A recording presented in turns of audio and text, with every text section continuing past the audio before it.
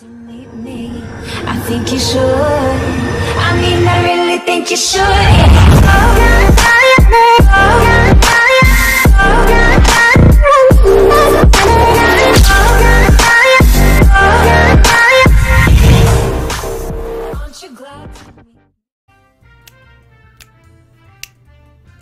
G'day guys, it's Jara here, and welcome back to Detective Hank and the Golden Sneeze. We're back, y'all! We're gonna find out who took the Golden Sneeze. So we're just gonna resume game. We arrive well in time for the night train, we meet up with a pair of friendly faces before leaving. Hank, Mary, I didn't know you guys were uh, taking the night train. Oh, no, no, never mind. Nope, that was not a female. Oop. Paul, Peter, I didn't know you had business in the next town over. There's, I can't remember their voices. I only remember these two. I remember theirs. There's an investment party over there, so this gorilla wants to crash it. Peter, have you forgotten the best part already? Strong cider straight from the tap. Dads, I'm happy you set you're setting me a good example by taking the train. By the way. By the way, can you say hi to Mr. Abrams for me if you see him? He seems to be talking taking the train tonight as well. Paul, we need to load up our robot. Kids, we'll see you later. I'm not sure I'm it's a good idea for Mr. Abrams to get on the train. How come, detective? Good to see you, Mr. Abraham Abrams. Can't read English either. I believe it'd be unwise for you to take this train ride. There's a good chance that the golden sneeze is on there, as well as the thief, and he or she may try to harm you. Come on, detective. Do you think I'll be scared of a little threat like that? I'll see you in a Bristol wagon. Honey, everything okay? The situation's just got a bit more dangerous, but it's okay. Oh, I can handle it. Mary, what are you doing here? Sapphire? I'm just about to go on an epic quest with my hubby. It's great to see you two together for once. I need to get my luggage to my cabin now, but I'll see you later. Take care, you two. See you later, Sapphire. You two know each other? Yes, from Alice's self-defense party. Why? I'm about to get on a train with the perpetrator of a crime, the main victim of the heist, the main suspect of said heist, and my dear family. Also, my wife seems to spend time with an alleged criminal. I just wanted a quiet train ride. Don't worry, love. Don't worry, my love. Why did I go British? Meh. Don't worry, my love. I'll protect you. Chapter 3 Following the Trail. Usually, I enjoy a good train ride, but there are too many important people on this ride for it to be enjoyable. Fortunately, I came prepared. I told the police force to take some cautions over the, at the next station, and I told the con- conductor to secure all the goods and to keep an extra close eye on the passengers. It's a good thing you got that portable phone of yours so you can call everyone involved as needed. I'm not too fond of it, to be honest. I mean, it wasn't required by the job. Why would anyone want this? It runs out of steam within two days. Then I need to find a tap to refill the water. And if I'm lucky, someone calls me on it so I can say, Hi, this is Hank. I've got a phone with a landline four feet away, but I refuse to stand up and walk over to it. Grr, I'm Hank. I hate new things. I want to communicate with old smoke signals. Meh. Come on, you gotta admit that was funny. that was a spot on imitation, honey. Too bad it was of me. Cheer up, honey. I know you're stressed out by this ride, but you can't blend in like that. Let's get a smile on your face so we can find the thief. Also, we shouldn't be talking about the thief this loud, but that's a-okay. As always, you may be a daft, but you're definitely right. Let's get to business.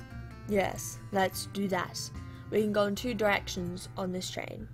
Firstly, there's the front end of the car, front end with the cargo, the coach section. Sapphire went that way. So if there's any trouble out here, it's probably there.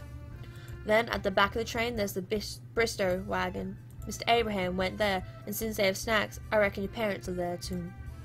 So it's like a mullet, business in the front, party in the back. You truly are your father's daughter, aren't you?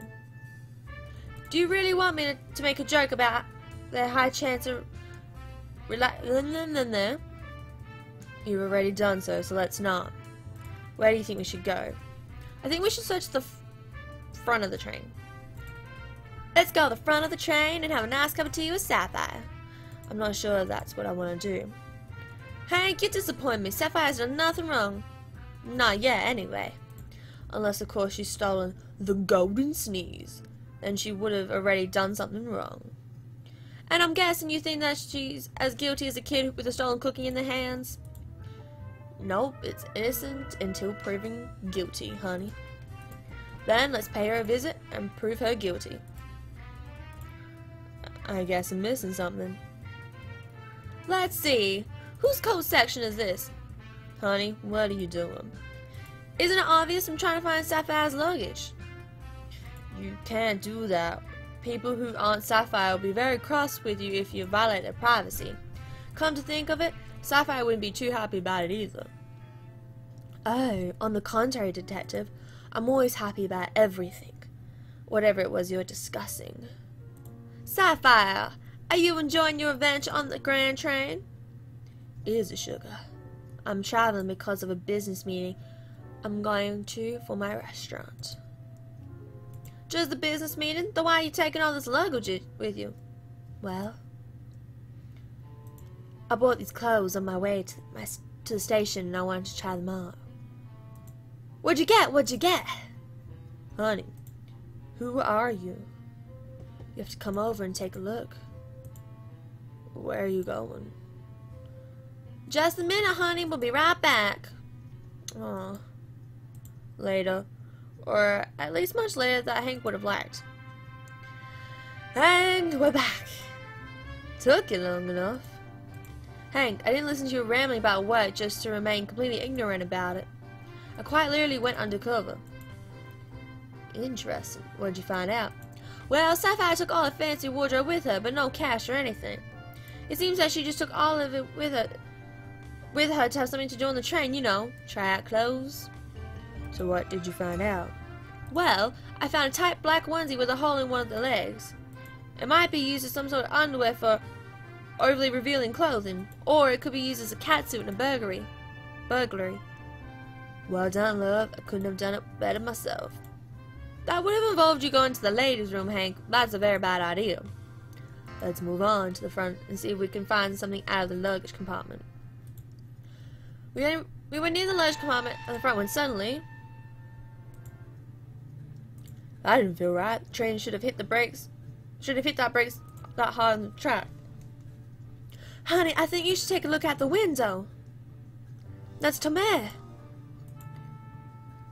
Did that little girl just stop a train? I've seen her do worse. Out of my way. Let me in.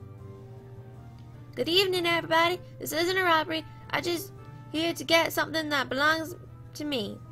Also, hi, detective. Surprised to see you here. So if anyone has a huge lump of gold in the shape of a nose, your cooperation would be highly appreciative. And don't even think about moving a muscle. Stop. Tommy, stop. This is madness. You're scaring my Hank. I'll make you pay for this. Apart from that, holding a train is a serious offense. What are you doing here? Detective, you have have you talked to Abraham about the Golden Sneeze's history? Mr. Hamilton told me a thing or two. The story with the little girl, right? Tell me, Detective, did you believe that what he told you was true? Well, it might be. It might have been true. I'm sure it holds at least some truth. I'm just not sure which part. Detective, I can assure you that it was all true. So the monk. So the monk. True. and the molten gold. Unfortunately, true as well. Wait, so all this happened for real, then how did she know for sure? But while we were talking, and all too familiar thug tried to sneak away. Alright, you distracted me. You get back here! We weren't sure we were supposed to protect the little girl from Big Thug or the poor man from the kid with explosives. Either way, we gave a chase. Look, little girl, put down the explosive and let, let the grown-ups go, okay? You have my sneeze. Now, I'm not gonna let you go that easily. Hold right there, Tommy. What the? Hey! Hey, hold on! Detective, you're the worst. I just had him. Let me fix that. Unit 2, we got a runner. I'm on it. See, that fell always comes in handy. I mean, grr, punch the bad guys. Tommy, it's time we had a serious talk. Let me go. So, you have the right to remain silent. Anything you say will... You have the right to remain silent. Anything you say will be used in a court of law. You have the right to an attorney. If you do not have one, an attorney will be pointed towards you. Do you understand your rights? I suggest you exercise it. We'll have a serious talk right after, right after, right after the police are done with that guy. Alright, detective, what do you want? That's a good question, but I'm not going to outright tell her that I want to know what she's doing here. As long as I keep her talking, she won't run away or wreak any havoc. Let me see what I can talk about with this kid. Maybe if I ask her age positively I can coax her into talking. You can offend children by telling them they're too young, so you have to be careful. You want to know what? In that case, tell me. Since you know so much about the golden sneeze, tell me more about it. Detective, truly, you know nothing. Fair enough, but tell me then. Those beakers hanging around your torso seem to hold a lot of explosives. How long did it take you to make those? Mixing must take ages. To be honest, it took me 20 years to master the craft of making these explosives. And it's none of your business what I'm going to do with them. 20 years? How long? How, how did she? Wait a minute. To man, things don't add up. You appear randomly blowing things up just to get the golden sneeze. Tell me.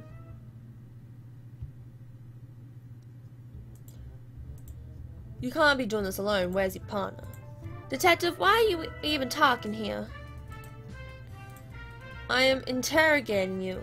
As long as you're here, you won't do harm to no one. So you're just wasting my time. I think it's time for me to go. Wish you luck with the thug. How so? He doesn't have the sneeze. At least, he didn't when I punched him in the gut. oh, units, have you found the golden sneeze? I'm sorry, detective, there's nothing out the train. The rider didn't have it on him. Everything okay, honey? I'm not sure. Fortunately, if I'm correct, the golden sneeze is still back in the city. Unfortunately, there's a large chance that the thug was a transporter, and he was just dropping it off somewhere. It's probably back in the hands of the thief again. Chin up, honey. You'll catch him. You're right. It should be easy for the self-proclaiming greatest detective in the world. And then I'm gonna punch him. I reckon it's the go. Hi, anyone here? Hey, I know you. I saw you on the train. What are you doing here? Kinda go, I have a hobby. I'm still in town, I'm not like I'm on the run. Oh, girls. Miss Bletchell called and said she couldn't make it, but she will be joining us next time. Apart from her, everyone invited to this workshop is present. This looks like it's gonna be a lot. This looks like it's gonna be a lot of fun, Miss Capone. Thank you, Tommy. I know we all see each other on a regular basis, but I prepared this speech and I wanted to know what you ladies thought. A speech?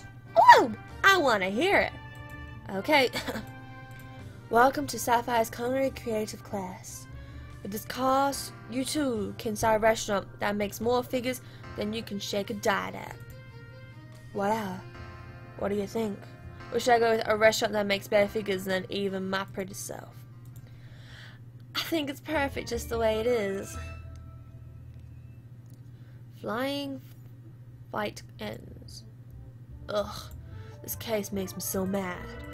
The dog we caught might have been one of Sapphire's boys, but by the looks of it, he was operating on his own. He was definitely hired as a transporter, but he keeps his lips closed as who we might be hired by. As they often do, he even denied being hired by anyone in the first place. That doesn't matter. We just have to focus on finding the person who really stole the golden sneeze. The pool of suspects is over, isn't overly large, and they all could have done it just as well. Maybe none of them did. And I have a feeling that the suspect may be backed into a very unexpected corner. I think I need to talk to everyone once more, then maybe figure out who stole the golden sneeze. Who shall I visit? Um, Mr. Abraham. Good afternoon, Mr. Abraham.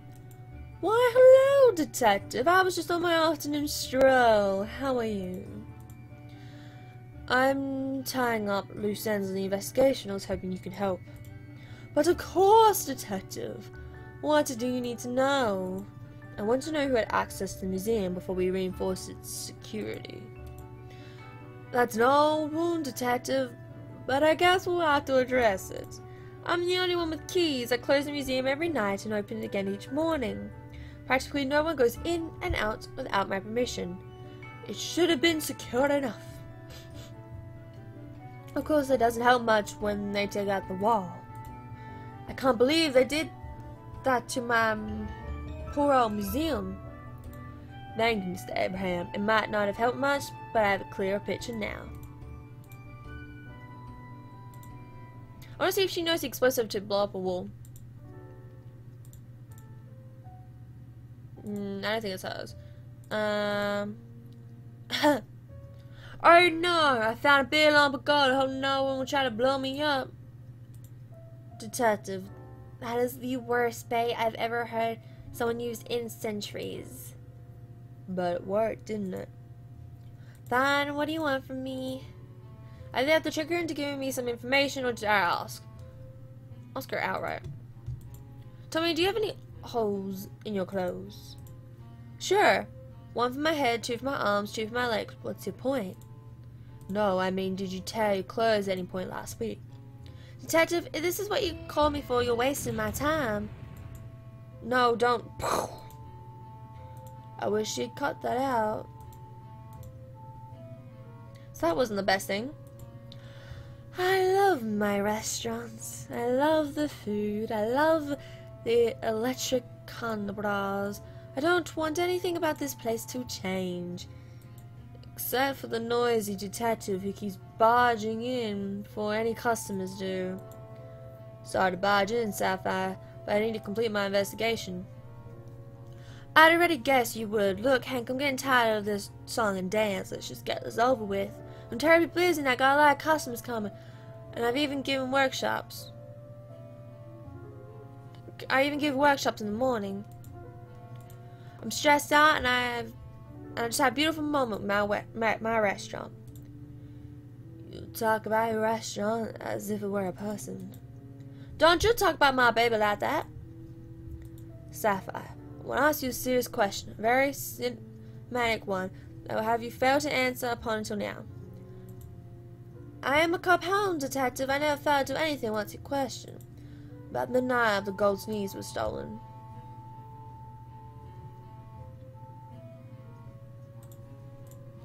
Sapphire, I want you to be honest with me. Where were you on the night the golden sneeze was stolen? Hank, I thought you'd never ask. But seriously, I was on my self-defense class. Ask Mary. You're right. Mary did tell me she was self-defense class on right night night. And that she met up with you at the place. I hadn't put the two and two together. Well, with that out of the way, could you please leave now?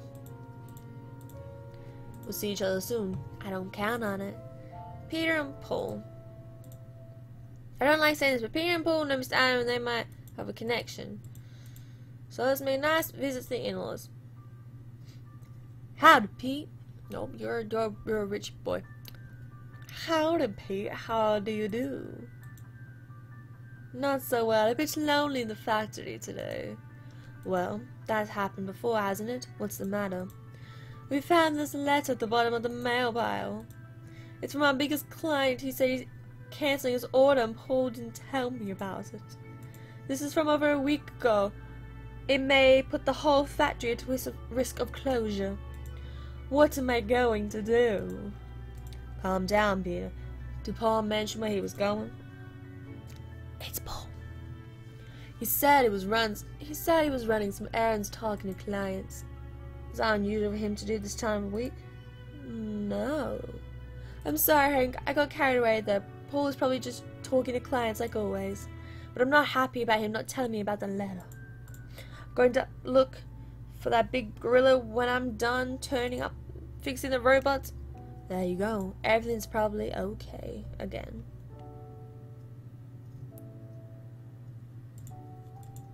Thanks for stop. Eh, thanks for stopping by, Hank. I sometimes think or do stupid things when I'm left alone. You're welcome, Pete. I'll see you later. See you around. Something doesn't feel right about the letter. It wasn't open yet. Peter only read it just now. That means Paul knew that the factory was in a lot of trouble, yet he didn't tell Peter about it at all. Paul, I really hope you didn't steal the golden sneeze to fix your finance problems. Hmm. The day hasn't completely passed by the time I return to the station. Good, maybe I could do some paperwork and go home early. But I spoke too soon. Detective, we bought a woman who we believe was robbing a bank. Hold it, Constable. Do you have any proof that she did it? Well, she was found in the bank with a bag that registered to the bank was filled with the brim with cash. Well, that sounds... Wait. Is it who I think it is? I'm afraid so, sir. Fine, let's get this over with. So we meet again, detective. So it seems. Look, Sapphire, there are reasons you're my usual suspect, but this is just simply ridiculous. You were caught red-handed with a bag of money that was registered to the robbed bank. It was my money, and I got that bag from the bank last week. It only seemed fitting to bring my money back in it. Maybe she hadn't robbed the bank, but my investigation on the museum is still ongoing. Since she's here, I might as well interrogate her. I have to be careful though, she doesn't like to be accused of things. Maybe I can go a bit talking kind. Sapphire, how about we have a nice old chat in this room, like we did so many times before? What a nice cup of tea, like when they arrested my father and you had to interrogate me. Sure, why not? A short while later. Thank you for the tea, Constable. Now, Hank, what do you want to talk to me about? Well,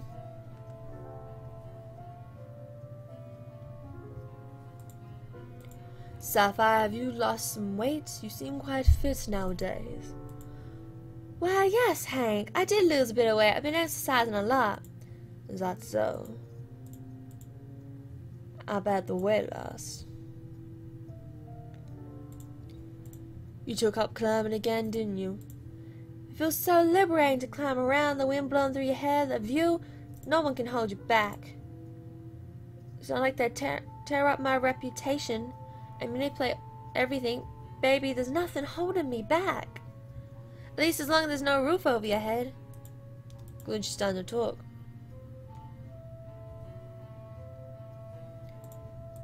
You really handled the rope. Where'd you learn the art? I took some extra knot tying lessons with the boys and now we can go abseiling together. I don't know if I feel comfortable with her boys knowing the way around ropes. Old friends catching up. You tie the rope to a pulley, then you cl climb and descend any wall you like. Wait a minute. If a pulley was silent, it wouldn't have needed a lot of oil. Found an oil stain in the cramp system. Seen, it would have been leaking oil from a pulley. Or you could have used it in any building like the museum. Wait, what? Gotta go, bye. Well, someone's having a nice cup of tea together. So I'm afraid we made some mistake and you wrote Miss Capone, such as, well, the serial number of the bag she found was found with is the same as the empty bag that went missing at bank a week ago. So the teller probably gave it to her by accident and Sapphire thought she could keep it. I'm afraid so, sir. Alright, Constable, I deliver her the news myself. Next time, make sure you have the proof straight. Miss Carbone, you're free to go. Finally. Yes, yeah, sorry for the mix-up. Since we're on the topic of accusation, how's your investigation going? Pretty well. You might already have guessed that. Oh, you haven't got a clue, have you, Hank? What makes you say that? Hank, you're too much of a softy. Anyone under the right circumstance would have been pressure to steal. You let your feelings cloud your judgment of the museum owner, your family, and even little old me. If that's so, Sapphire, explain to me. Explain to me how. Do your worst. Well, have you ever considered that the museum is doing well enough? Is anyone tried to lure people in the museum with the snow story of the golden sneeze being stolen? Maybe you know someone with money problems? Peter and Paul having finance troubles with their factory. What if someone just found the golden sneeze to be dazzling? Or what if their thief is just playing with you and has actually run under your nose? She's trying to throw Mary under the pivotal bus. Thank you. Thank you for your insight, Miss Carbone. I think I just cracked the case. Please wait here. Hey, did you just lock the door? Yes, Miss Carbone. You are now a suspect in a burglary case. Hey! Showdown. It is time for me to point out among the thieves, and then first I'm going to point out a suspect. Then I'll review the case and see what proof I have to incriminate. It's positive, then I'll go and arrest. I have to be careful though, once I choose a criminal, I can't do my actions. Let's get this over with. Who do we suspect? well, I don't... I don't think it's Tom... Tomer. I think it's Paul. I'm suspecting Paul. What shall we do? I think review Paul. Things aren't going well with Peter and Paul's factory. Paul managed on the guns needs to cover his debits.